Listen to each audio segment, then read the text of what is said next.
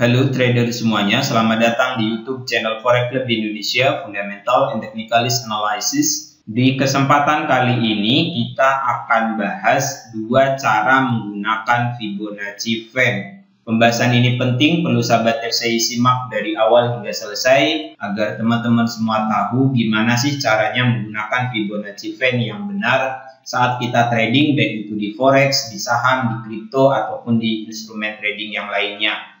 Namun sebelum kita masuk ke penjelasan yang lebih lengkap dan detail terkait cara menggunakan Fibonacci Fan ini, perlu kami ingatkan ke sahabat trader Forex Club di Indonesia semuanya yang saat ini belum daftar akun trading di XM. Bagi teman-teman yang sekarang belum memiliki akun trading di XM, silakan daftar terlebih dahulu. Penjelasan lengkap bagaimana cara daftar akun trading di XM, panduannya telah kami jelaskan di video yang paling pertama di dalam playlist belajar trading forex dari nol. Teman-teman bisa klik notif di bagian atas video.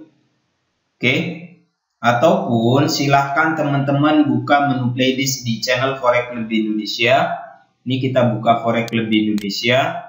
Kemudian setelah itu silahkan klik menu playlist yang ini. Perhatikan kursor yang kami tunjukkan. Nah, di sini ada playlist belajar trading forex dari nol. Di playlist ini telah kami buatkan panduannya dengan lengkap step by step cara daftar akun trading di XM. Ikuti langkah-langkahnya, ikuti panduannya agar teman-teman semua punya akun trading di XM. Link website XM kami cantumkan di bagian kolom deskripsi video ini.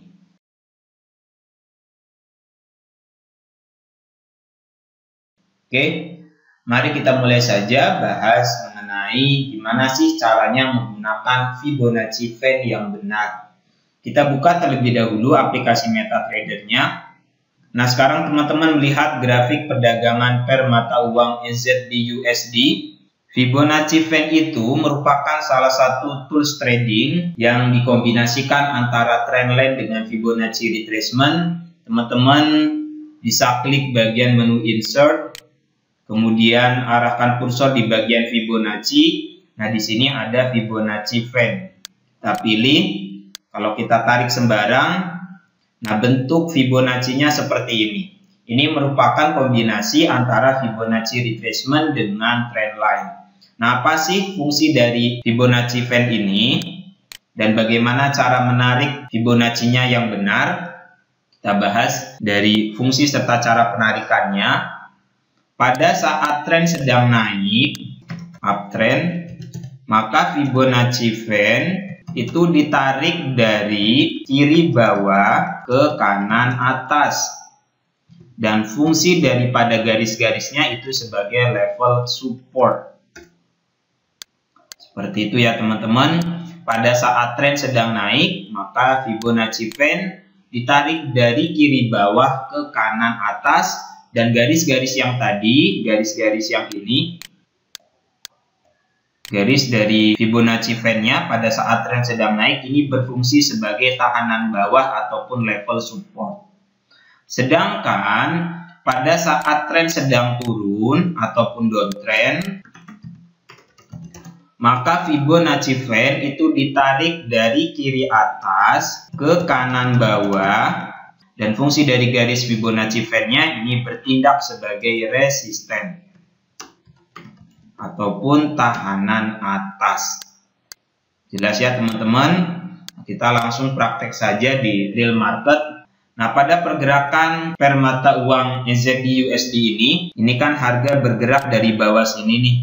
Harga dari sini naik ke atas sini, membuat high, kemudian turun ke bawah sini membuat low, Kemudian setelah itu naik kembali ke atas ini membuat new high.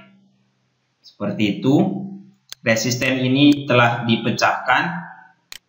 Tahanan atas yang ini telah di breakout. Maka ini menandakan bahwa trennya sedang dalam kondisi yang bullish. Ataupun trennya sedang naik. Uptrend. Maka Fibonacci fan-nya itu kita tarik dari bawah sini. Oke. Ke atas sini dari swing low ke swing high. Hapus dulu, kita tarik Fibo fan-nya. pada saat tren sedang bullish, maka kita tarik dari bawah sini ke atas sini. Pilih bagian menu insert, pilih Fibonacci, kemudian kita pilih Fibonacci Fan. Kita tarik dari bawah sini ke atas sini. Nah, fungsi garis-garisnya ini, ini kan ada tiga level. Ada Fibo 38.2, 50.0 dan 61.8. Level ini merupakan level support seperti itu. Jadi teman-teman tidak perlu repot-repot lagi menarik garis trendline karena di sini sudah dibuatkan. Nah, kalau kita lihat pergerakan harga selanjutnya, dari sini harga turun ke bawah sini ke Fibo level 61.8 dan tidak bisa melakukan breakout. Di sini teman-teman bisa lakukan open posisi buy. Seperti itu. Kemudian harganya naik lagi ke atas sini. Setelah itu terkoreksi turun ke bawah sini dan tidak bisa breakout, di sini juga teman-teman bisa lakukan open posisi buy. Setelah itu harga naik kembali ke atas ini dan terkoreksi turun ke Fibo Fan level 61.8. Di level ini teman-teman juga bisa melakukan open posisi buy yang ketiga. Jelas ya teman-teman semua bagaimana cara menarik Fibo Fan pada saat tren sedang naik tarik dari bawah sini ke atas sini, dari swing low ke swing high.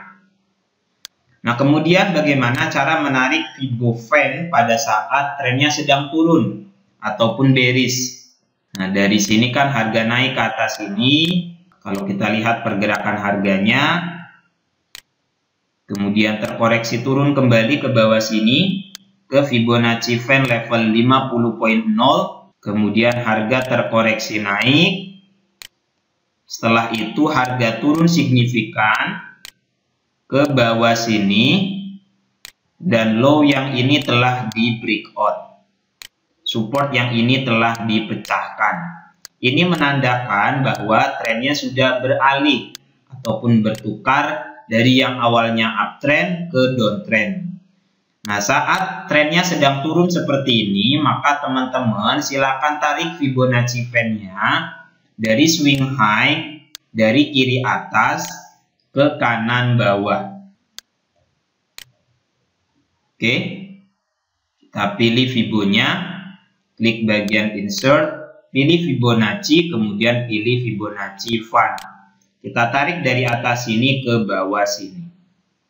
Kita ganti warnanya biar teman-teman lebih jelas untuk Fibonacci Fan pada saat tren sedang turun kita ganti warna putih biar lebih jelas.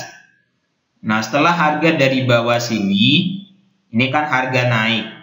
Teman-teman perlu diperhatikan bahwa pada saat tren sedang turun, maka Fan ini berfungsi sebagai resisten ataupun tahanan atas. Harga dari bawah sini naik ke atas sini ke Fan level 61.8 dan tidak bisa melakukan breakout di sini teman-teman bisa lakukan open posisi sell. Seperti itu karena ini merupakan tahanan atasnya.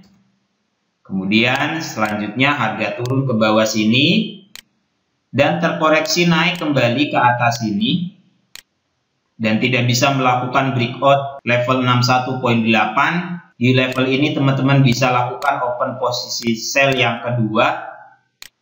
Kemudian setelah itu harga mengalami penurunan yang signifikan. Sangat mudah dan sangat simpel ya teman-teman. Gimana caranya menggunakan Fibonacci Fan? Pada saat tren sedang naik teman-teman tarik Fibonya dari kiri bawah ke kanan atas.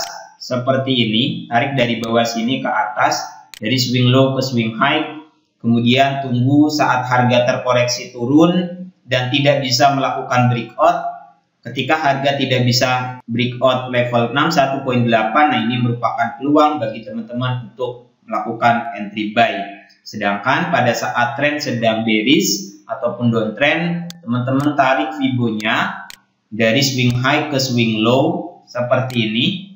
Tunggu harga terkoreksi naik ke level-level ini dan saat harga tidak bisa melakukan breakout, nah itu merupakan peluang bagi teman-teman untuk melakukan entry sell. Semoga pembahasan mengenai cara menggunakan Fibonacci Fan ini bermanfaat. Jika ada hal yang belum dipahami, silakan tulis pertanyaan teman-teman pada kolom komentar di bawah. Dan jangan lupa subscribe YouTube channel Forex Club Indonesia dan nantikan video lainnya. Terima kasih. Assalamualaikum warahmatullahi wabarakatuh.